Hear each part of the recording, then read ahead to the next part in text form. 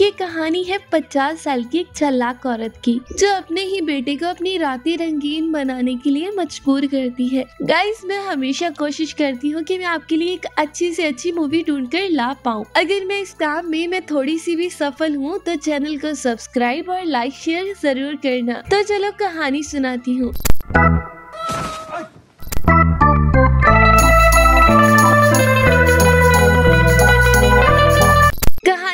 हुई Denmark city के लस ग्रीन एरिया के जंगलों से, जहाँ एक फैमिली, पीटर, एनी और उनकी दो ट्विंस बेटियाँ रहती थी। पीटर प्रोफेशनली एक टॉप क्लास सर्जन था और वहीं एनी एक लॉयर थी, जो स्पेशली माइनर्स के लिए फाइट करती थी और अपने इस काम के लिए वो सिटी में काफ़ी फ़ेमस थी। ऊपर से इतनी परफेक्ट दिखने वाली इस फैमिली में एनी खुद को बहुत अकेला समझती थी। तभी हम चार्ली को देखते हैं, जो एनी की बेजान ज़िंदगी में रंग भरने आ चुका था। चार्ली के आने से एनी की दोनों बेटियाँ उसे वेलकम गिफ्ट में कीचेन देती हैं, जो कि शायद चार्ली को पसंद नहीं आया, क्योंकि अगले दिन वो कीचेन एनी को घर के बाहर मिला। पर एनी यहाँ सोचती है कि शायद ये गलती से गिर गया होगा तो वो उसे वापस करने चार्ली के रूम में जाती है, जहाँ उसे एक 18 प्लस बुक मिलती है। तो एनी चार्ली से पूछती है, क्या मैं जान सकती हूँ तुम इससे क्या पढ़ रहे हो? जिसपे चार्ली एकदम डर जाता है, पर एनी वहाँ पर मुस्कुराते हुए उसे वो बुक वापस दे देती है। कुछ दिनों बाद एनी जब अपने ऑफ़िस से घर लौटी तो उसने नोटिस किया कि घर पर चोरी हो गई है। जिनमें वो कीचेन भी शामिल था। पर अगले ही दिन लॉन्ड्री करते हुए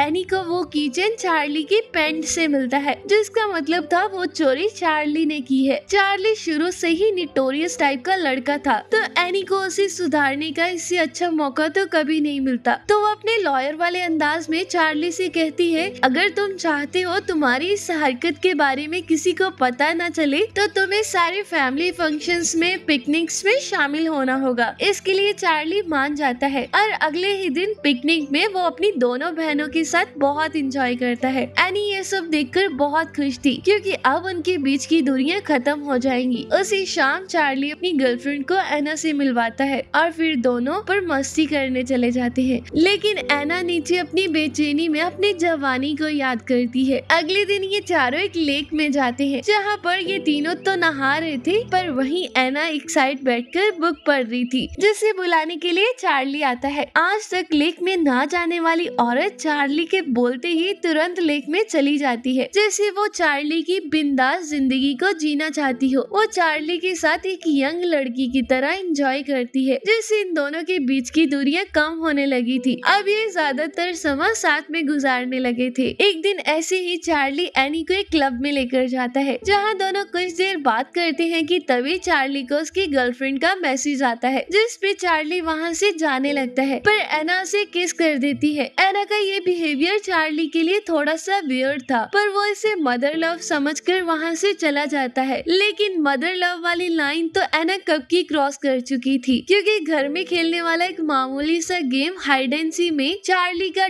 टच भी एना को रोमांस से भरपूर लगता है क्योंकि अब तो वो अपने रूम से निकलकर सीधा चार्ली के रूम में चली गई, जो देखकर चार्ली एकदम हैरान हो जाता है। पर एनी के तो दिल और दिमाग पर चार्ली छा चुका था और अब वो चार्ली को सेक्स करने के लिए मजबूर कर रही थी, जिसमें चार्ली अपने होश खो देता है और ना चाहते हुए भी एना के साथ वो कर लेता है। और यहीं से इनका एक रिश्ता शुरू हो जाता है, क्योंकि इन्हें जब भी वक्त मिलता है, ये जंगल में, घर में कहीं भी शुरू हो जाते हैं। एक दिन ऐसे ही इंटीमेट होकर चार्ली एक टेप रिकॉर्डर में एना की बातें रिकॉर्ड कर रहा था, जिसमें वो एना से पूछता है, तुमने फ़र्स्ट टाइम कब और किसके साथ किया था? जिस पे एना कहती है, उसके साथ जिसके साथ नहीं करना चाहिए था। मतलब कि वो भी एक माइनर था। खैर, चार्ली सारी बातें रिकॉर्ड कर कर उस टेप रिकॉर्डर को रख देता है। उसी शाम चार्ली की दोनों बहनों की बर्थडे पार्टी थी, जिसमें कई लोग शामिल हुए थे। और इसी सेलिब्रेशन में एना और चार्ली रोमांस के कुछ पल गुजार रहे थे, कि तभी उन्हें एना की बहन देख लेती है। जो एना से कहती है, तुम पागल हो क्या? वो तुम्हारा बेटा है। एना इन सबसे बहुत डर गई थी कि जैसे उसकी बहन ने देख लिया, अगर किसी और ने देख लिया तो उसकी इज़्ज़त की धज्जियाँ उड़ जाएँगी। इसी चक्कर में वो चार्ली से दूरियाँ बना लेती है, जो कि चार्ली को थोड़ा भी अच्छा नहीं लगता। और वो पागलों की तरह एक पेड़ पर चढ़कर उसके सारे फल नीचे फेंकने लग जाता है। वहाँ पर सिचुएशन काफ़ी ऑकवर्ड हो गया था, जिस पे सब लोग चार्ली को छोड़कर चले जाते हैं। तो वो उसी लश्करी क्वीन जंगल में चला जाता है, जहाँ उसे मनाने एनी जाती है और उसे समझा कर वापिस ले आती है, जहाँ पीटर डिसाइड करता है कि वो चार्ली के साथ कुछ टाइम स्पेंड करेगा, जिसके लिए दोनों ही जंगल चले जाते हैं। वहीं एना अपने घर पर अपनी बेटियों को क्वीन ऑफ़ द हार्ट की स्टोरी सुना रही थी, जिसमें क्वीन का कैरेक्टर बहुत जालिम था। वो गलती करने वाले को सीधा मौत की सजा सुनाती है। ये हमें अगले ही दिन पता चल जाता है। जब पीटर और चार्ली जंगल से वापस आते हैं तो पीटर का बिहेवियर कुछ बदला बदला सा था, जो देखते ही एनी समझ गई थी कि चार्ली ने उसे सब कुछ बता दिया है। जिस पे वो पीटर को कन्फ्रंट करती है कि चार्ली ने तुम्हें जो भी बोला है, वो सब झूठ है। और अगर तुम्हें मुझ पर भरोसा नहीं तो मैं अभी के अभी इस घर को छोड़कर चली जाती हूँ, जिस पे पीटर एकदम कंफ्यूज हो गया था कि वो किसकी साइड ले। इसमें एनी अपने लॉयर वाले अंदाज में हुक्म का इक्का फेंकती है और वो चार्ली से कहती है, कुछ दिनों पहले जो चोरी हुई थी, वो चार्ली ने की है। जो सुनते ही पीटर एनी पर भरोसा कर लेता है और चार्ली के एकदम खिलाफ हो जाता है, क्योंकि वो शुरू से ही एक निटोरियस टाइप का लड़का था, जिस पे पीटर चार्ली को एनी से माफ़ी मांगने को कहता है। पर चार्ली ने कोई गलती नहीं की थी, इसलिए वो एनी के मुँह पर थूकर वहाँ से चला जाता है। अब इतना सब होने के बाद पीटर डिसाइड करता है कि वो चार्ली को बोर्डिंग में डाल देगा और अगली ही सुबह उसे छोड़ने के लिए चला जाता है। और वहीं एनी ने भी सारे सबूतों को मिटा दिया था, लेकिन कुछ दिनों बाद चार्ली अपने बोर्डिंग से भागकर सीधा एनी के पास जाता है। तो एनी उसे कहती है, तुम एक माइनर हो और तुम्हारी बातों पर कोई भी भरोसा नहीं करने वाला। और मैंने सारे सबूतों को भी मिटा दिया है, जिस पे निराश चार्ली शाम को अपने डैड पीटर के पास जाता है। पर एनी उसे वहाँ से भी भगा देती है। चार्ली चारों ओर से एकदम अकेला पड़ गया था तो वो फिर से उसी जंगल में चला जाता है, जहाँ ठंड और भूख के चलते चार्ली की मौत हो गई थी। पर अब पीटर को समझ आ गया था कि ये एना ने उसे अपने मतलब के लिए इस्तेमाल किया है। वो चाह के भी एना को छोड़ नहीं पाया, क्योंकि एक बार फिर से उसकी फैमिली उससे दूर हो जाती। आज वो लोग ऑस्ट्रेलिया चार्ली की मॉम के पास जा रहे थे, जहाँ दोनों बहनें और पीटर चार्ली को खोने के गम में खोए हुए थे। वहीं एना के चेहरे पर कोई दुख नहीं था, और मूवी यहीं पर एंड हो जाता है। आपको ये कहानी कैसी लगी कमेंट करके ज़रूर बताना। Thank you for watching